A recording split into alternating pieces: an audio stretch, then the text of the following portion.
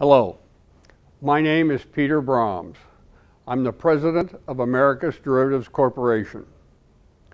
Joe Debe, Andy Scott, and myself have spent over 30 years developing the finest derivative product ever created in the securities industry.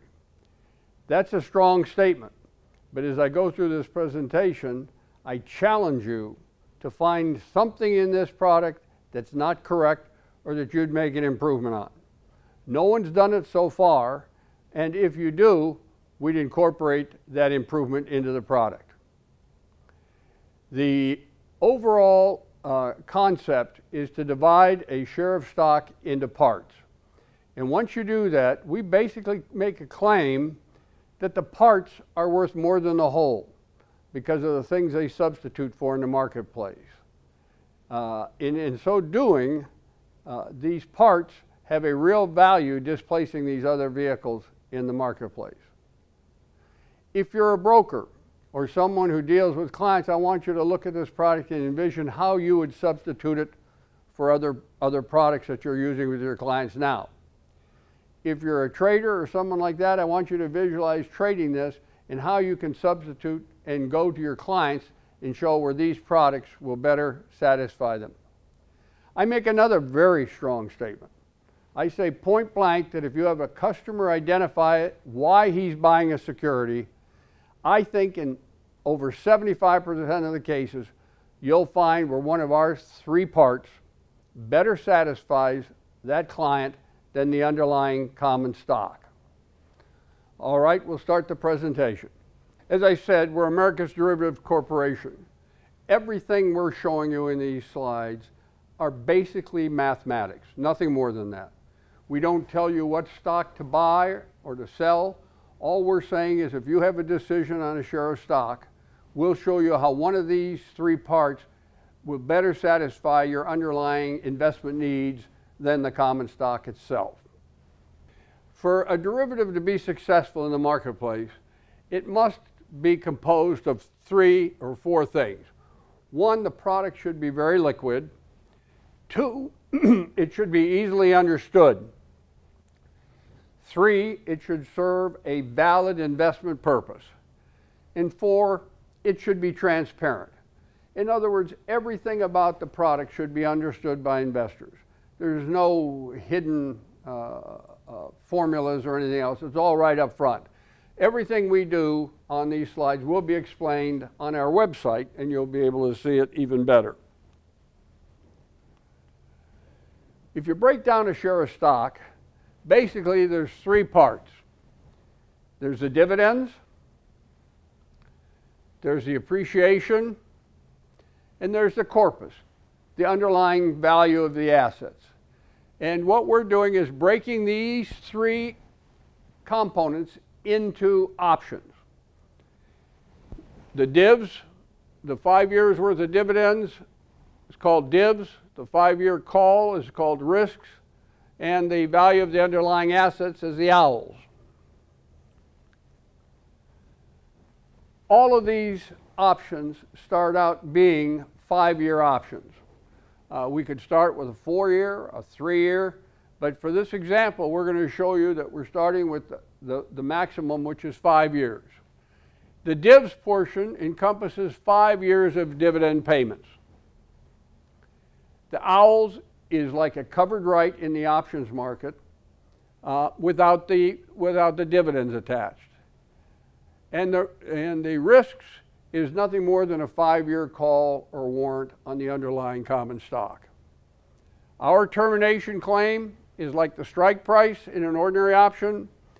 Our termination settlement date is the same thing as the expiration date.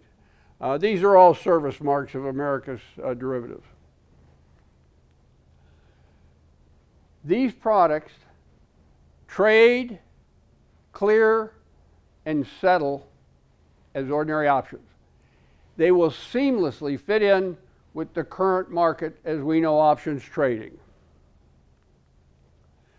I'm going to use two stocks in these examples here today. One is Facebook, and the reason I'm using, and the other is Exxon. the reason I'm using Facebook is because it does not pay a dividend. The reason I'm using Exxon is it pays a very healthy dividend of $3.28.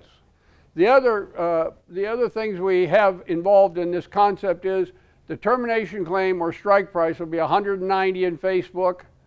The standard deviation or the volatility number, which most of you are aware of, is around 26.27 when we did this. And we're not expecting any new dividends for quite a while in, in Facebook. Exxon will be slightly different. It has a lower volatility. The strike price will be $80 a share. It pays a dividend of 328 and I think most people expect that dividend to be increased 6 to 8% a year. Over the last uh, 15 or 20 years, I think it's done even better than that. All right, the first thing we're going to deal with is the risk, the five-year call. This is a European style option. It cannot be exercised before the termination date. If you want to eliminate your position in this, this option, you would go in the marketplace and sell it just like you did when you, when you bought it. It'll be priced as a call option on the common stock with five years to termination. That's standard Black & Scholes or Cox & Rubinstein pricing uh, as any option.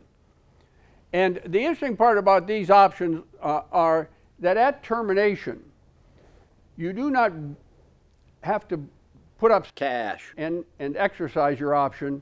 Whatever the value of that option is worth in the marketplace, you will get common stock directly back in exchange for this. I will explain this a little bit further uh, later in the slide presentation.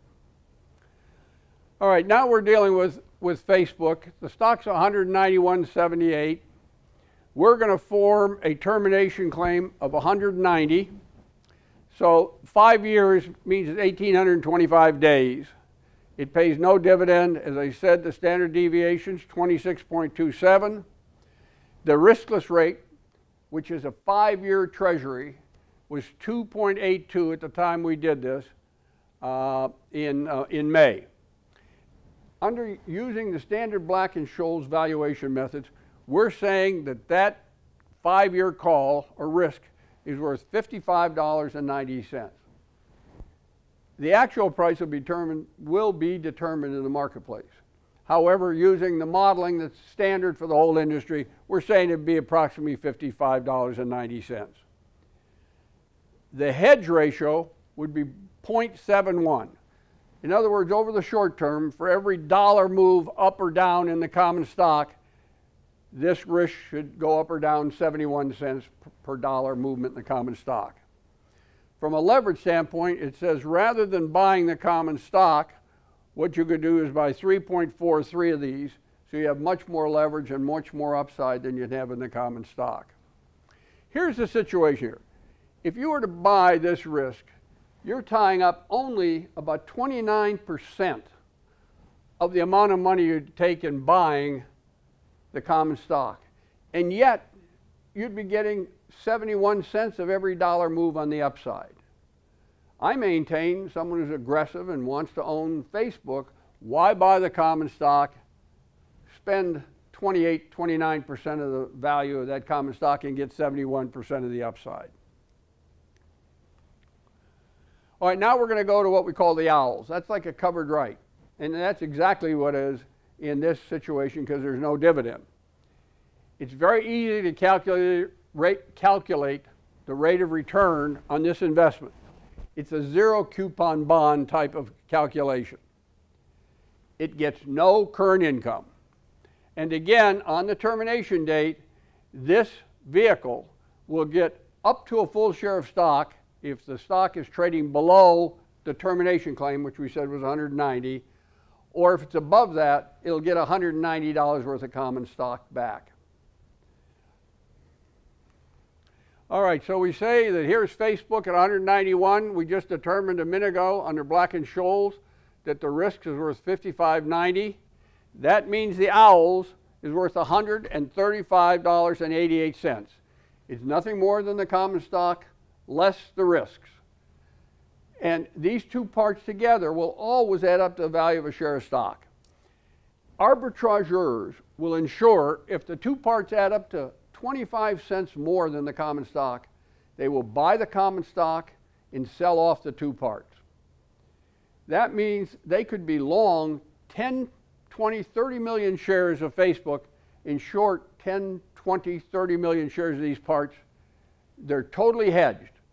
No, they can never be responsible for more than a full share of stock. Uh, so they might have to show it on their balance sheet as a footnote, but basically there's no risk. They take when they sell the parts, they take their money out plus the profit, and at the end of five years, through the Options Clearing Corp, they just deliver this stock that's already there at the Options Clearing Corp, and the position's over and done with. What do you get when you buy this owl at 135.88? You're getting appreciation up to $190 a share.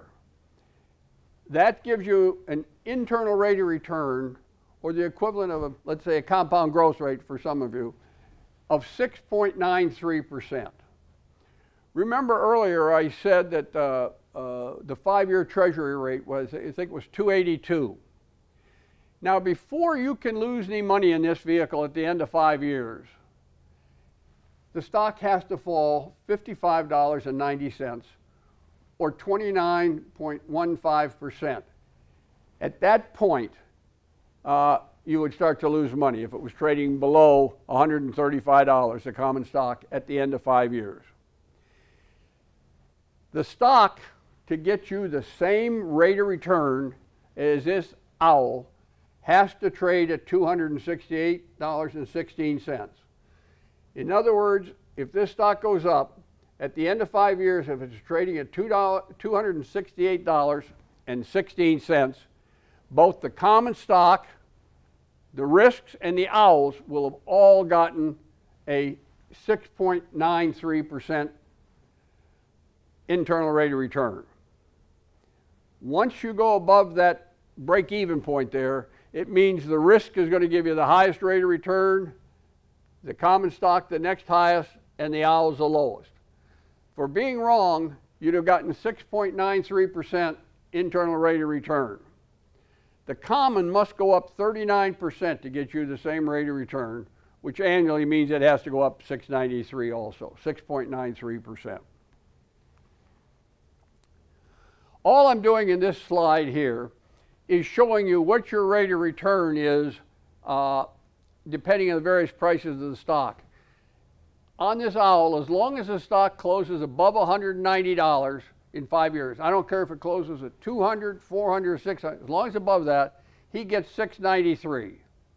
Uh, if the stock was to close at 190, he would have had appreciation from 135.78 to 190, which would be 603.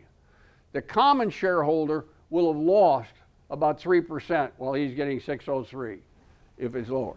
And you can see you get clear down here at $130, even this guy loses $5.78, which is 0.88% uh, of 1%, whereas this guy would have lost 32%.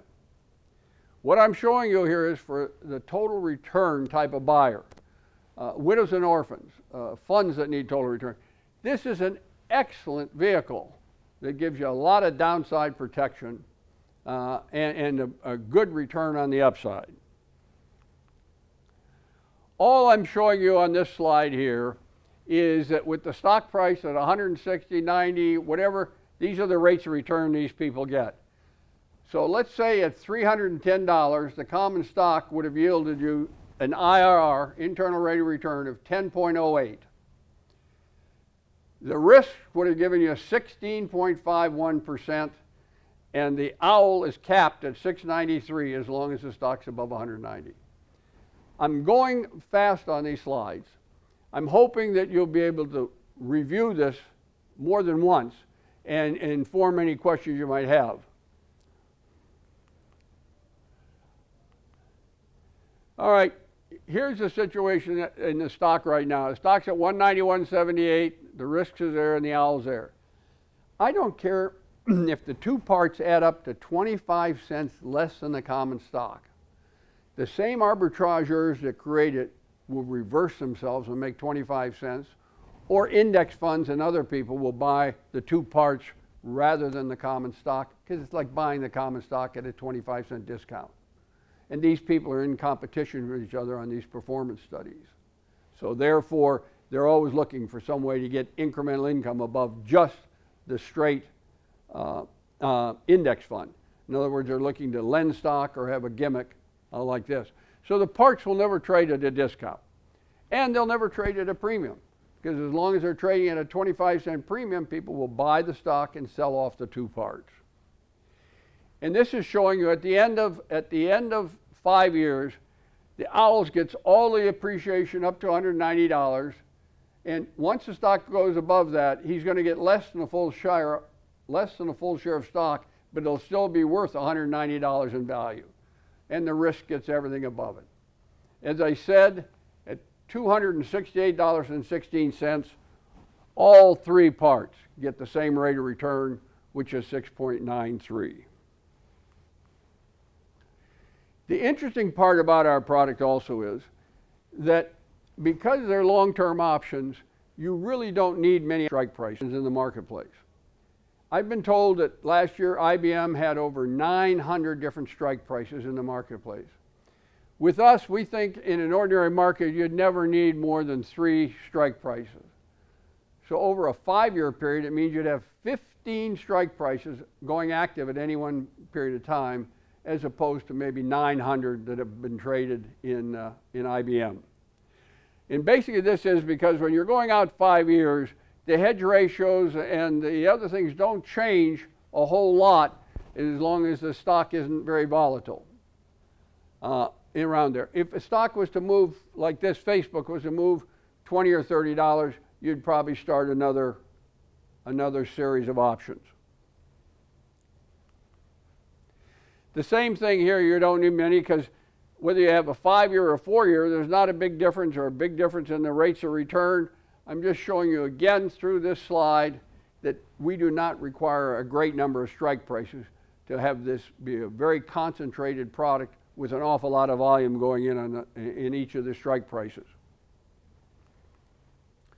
All right, now then I'm going to go to the second uh, stock, which is Exxon. And we've really got, this is the first time in the marketplace, the dividend stream of a stock has ever been able to be priced. For the first time, the market will value the dividend stream and the policies of various corporations and compare them to see, and they'll be, corporations will be able to discover uh, what might be the best dividend policies they should be implementing. This vehicle, the DIV, should have a high current yield compared to the common stock. And what you get in this is a substitute payment for the dividend. You're not actually getting the dividend itself. You're getting the same dollar amount, but it's a substitute payment. The fellow who sold you this DIVS, even if he's got the underlying common stock, he's not passing the dividend on to you. He's giving you the equivalent of the dividend. So it's not the dividend itself, even though it's the exact same amount. All right, now I'm going to go on to Exxon and I'm going to say and deal with the dividends. This is an extremely interesting product. The divs are priced as the present value of the nominal dividends. Currently, that's the declared dividends uh, for the term of the divs. Let me show you how this works. Exxon's paying $3.28, $3.28 a year. So for five years, which is 1,825 days, you're going to get $16.40 in dividends. If you take each of these dividend payments that's being paid over the five-year period and discount them at the riskless rate of 2.82%, the five-year treasury rate, it means that this div value is worth $15.31. So if you paid 15.31, Exxon's dividend was exactly 328 for five years, you'd get 2.82%, same as the risk rate.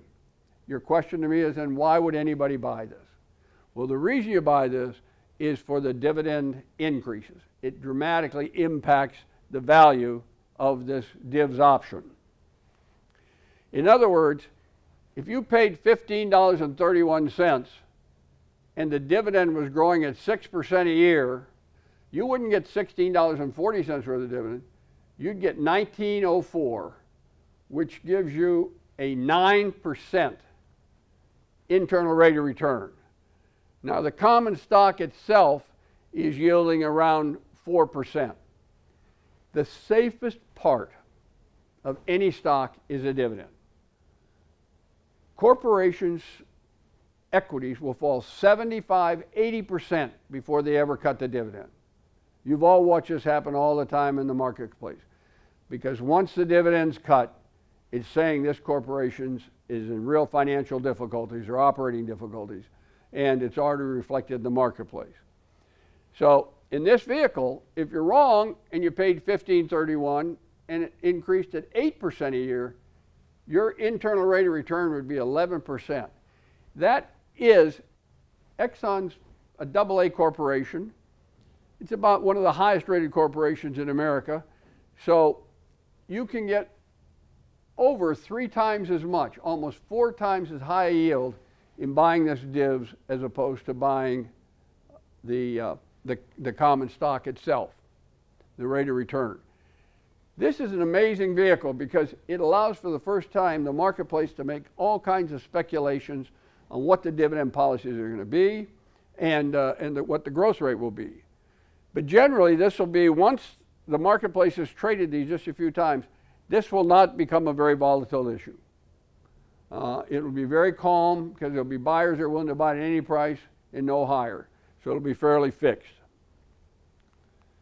All right, now then I go to the next slide and I'm saying what's a five year call on Exxon worth when the stock is at 81.29 and the strike price is 80. Here's the dividend, here's the standard deviation, the risk rate. Standard Black and Scholes again says that an option here is worth $8.65. If you were to buy two of these, you'd spend $17 and you'd get all of the upside in Exxon because the hedge ratio is 0.52. So if you bought two of them, you got a better than a match, a 1.0 to the underlying common stock. So rather than paying $81.29, you'd pay $17, which I think represents about 28% of the underlying common. So you'd spend one quarter of the money and get all the upside in Exxon.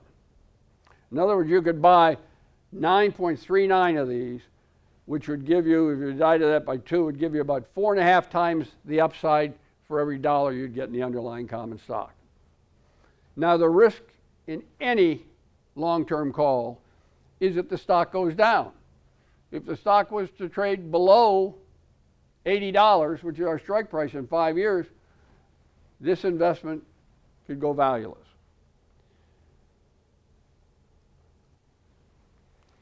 The next slide, once you take the common price, you subtract the value of the risks, the value of the divs, which equals $23.96, you're left with the owls.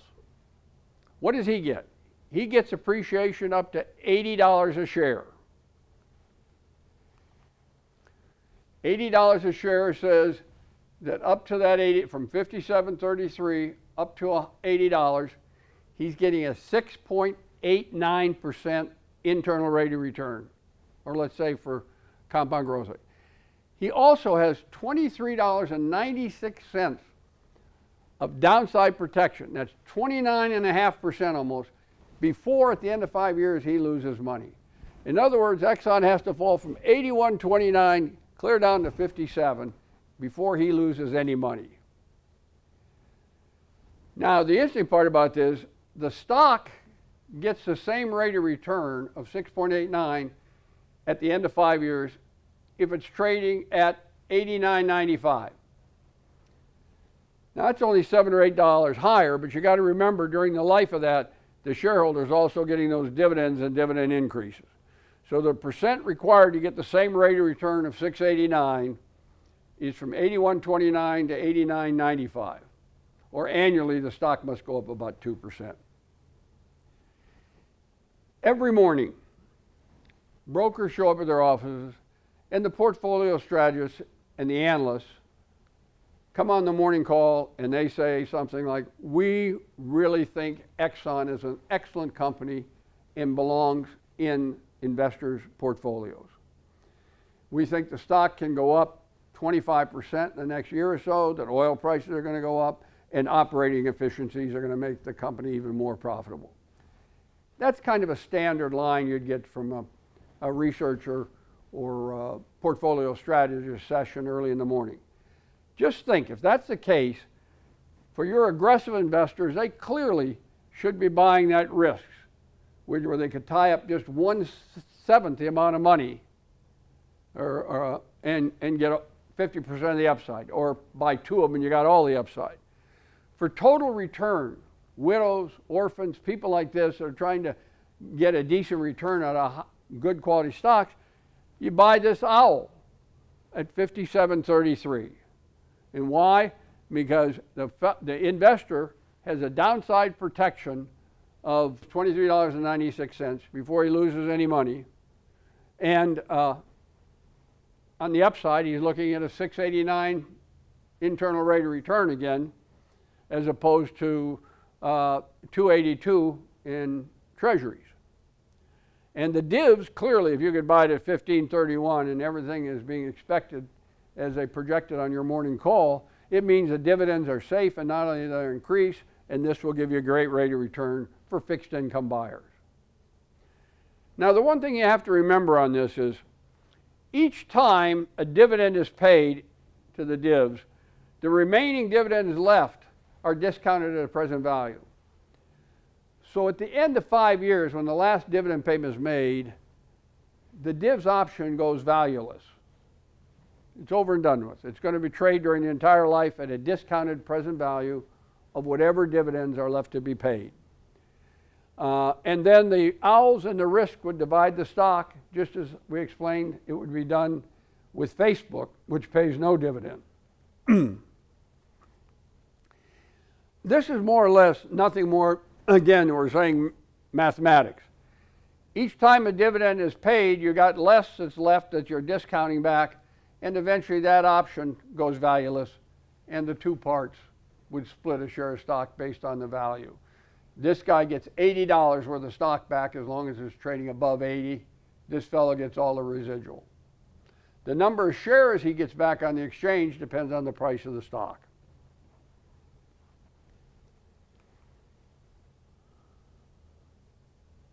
This, this is the same slide that we saw earlier that just breaks this stuff down and shows you how the option is going to, uh, to uh, zero, the divs. All right, here's what I've done on this slide here, I'm showing you at various stock prices for Exxon. Let's just take 110. You're saying the common stock, if Exxon in five years closed at 110, he'd get his annual IRR or internal rate of return would be 10.79. The risks would now be worth $30 from 865. Its rate of return compounded would have been 28.23 percent. The Owls, once the stock is above 80 and if it closes above there, he's capped out no matter where the stock closes at 6.98%. And finally, the divs, uh, if you have an ordinary buy-write, a five year buy-write, which doesn't exist in the marketplace today, but say you bought the common stock, you sold off the, the risks for 865 you'd be, buy this at 76.37 and your internal rate of return would be up to 739. But the difference with these options as opposed to an ordinary options, over five years, just think how many times you'd had to roll your ordinary short-term options. This, you do it one time, you can put the position away if you want. You don't even have to monitor it, and you can uh, just leave it till the five years is up. That's not true with ordinary options. Again, all I'm demonstrating here is that you don't need a lot of strike prices uh, in what, no matter what the stock is. Same thing, here's a number of years left in each situation. You see there's not a big difference whether it's five years, the risk is at 865. There's only four years to go, it's 833. You don't have to flood the market with a lot of strike prices in our product. Skipping that slide. Now, the other point I want to make here is that what we're applying here to individual stocks can also be applied to unit trusts. We were the original creators of using grantor trusts uh, to hold securities when we had primes and scores, which traded from 87 to 91. We had a private letter tax ruling that the government revoked and put us out of business, but that's how the unit trust came into business. The fellow at the American Stock Exchange, Nate Most, who worked with us on primes and scores, said he could use the con same concept on the spiders. I just said, I don't think you can, Nate, because the futures are out there trading in the spiders, the transaction costs are very dramatic, and the commission costs were very high.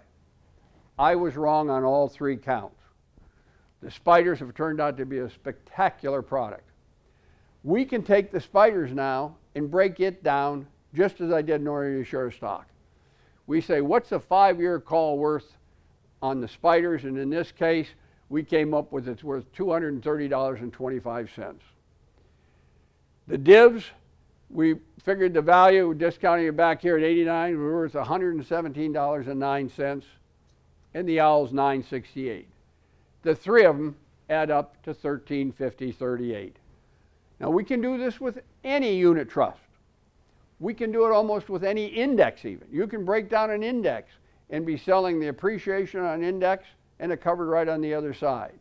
So this product is, is very valuable in examining any investment in the marketplace uh, that is related to fixed income or an index.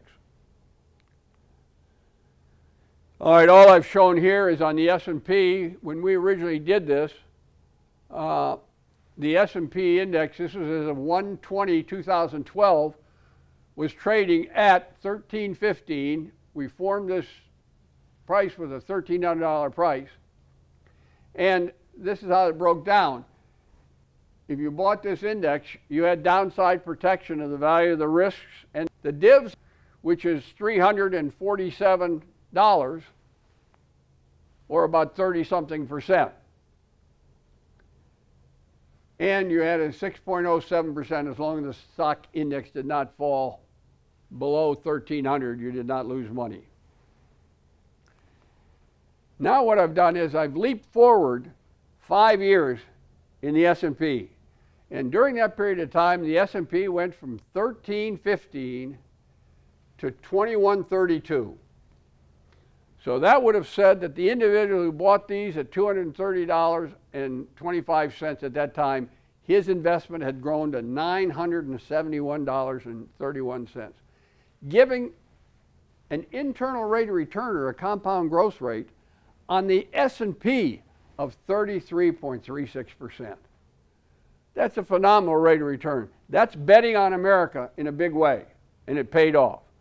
The Owls during that period of time, he gets all the appreciation up to 13. He was capped at 607 from the very beginning. And each of the divs, as they were paid, you went along, uh, that option eventually was zero. Again, as a broker, as a trader, every morning you come in there and say, What's the value added that I can give to a customer? What's my worth? What am I charging this for, customer for that I'm giving you value? Just think how you can help customers decide what to do with their portfolios and hedge their portfolios without tax consequences. There's tremendous advantages to this product uh, with the options and, and, uh, and uh, option taxation. Uh, skipping these two slides because they don't pertain to this presentation. Uh, same thing with this one. Again, I'd like to go back and summarize this a little bit.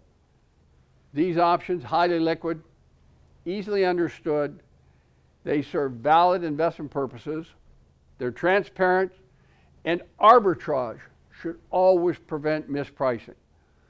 Those of you who have dealt in a lot of these derivative products that have been created by brokers and others know how badly you can get hurt in the mispricing or the illiquidity of an underlying uh, product.